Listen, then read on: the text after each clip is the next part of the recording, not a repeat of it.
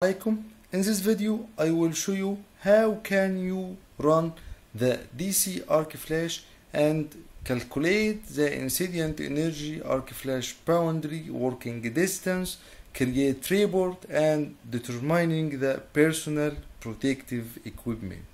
The first step go to DC arc flash module and from study case from edit from new create new study case DC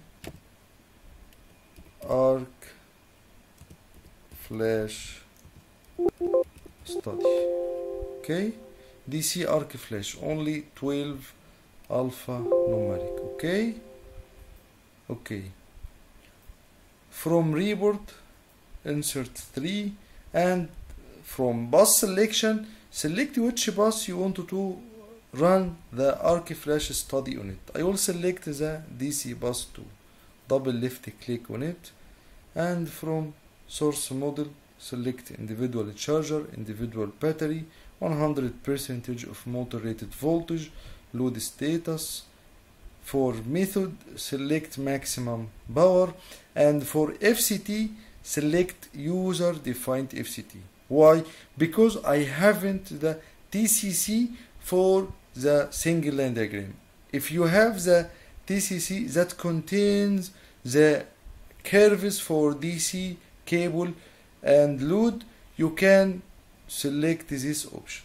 So if you create star view and you have the curves and you have the tripping time you can select auto select source. From this option you tell ETAP go to the TCC or go to the star protection and coordination module and select the value for fault clearing time. In this example, I haven't, I, I, I didn't create any TCC or I didn't run the protection and coordination study. So I will use user defined FCT from bus editor and I will go to this bus and from the arc flash I will select fixed FCT and here I will insert the value of fault clearing time. In this example the value of fault clearing time will be 0.1 okay? After that I will press on OK button. And from edit study case from parameter select NFPA 70E and from edit approved PPE select NFPA 70E after that from approved PPE make sure that you are check this box then okay okay okay.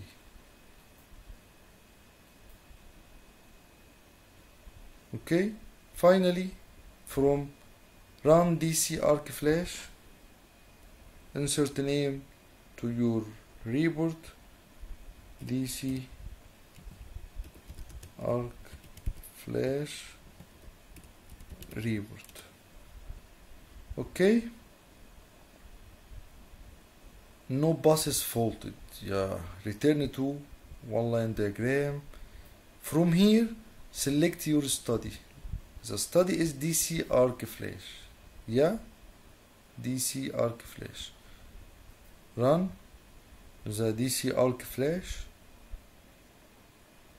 now you can find here the level will be level A and arc flash boundary will be 0.267 meter and incident energy will be 0.408 calorie per centimeter square at 45.7 centimeter and fault clearing time is 0.1 okay?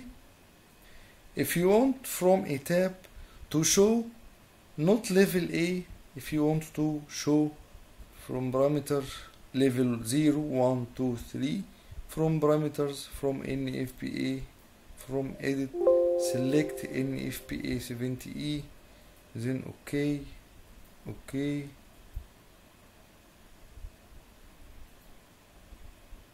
Then run arc flash. You can find that the level will be 0 and arc flash boundary will be 0.267 meter and incident energy will be 0.408 calorie per centimeter square.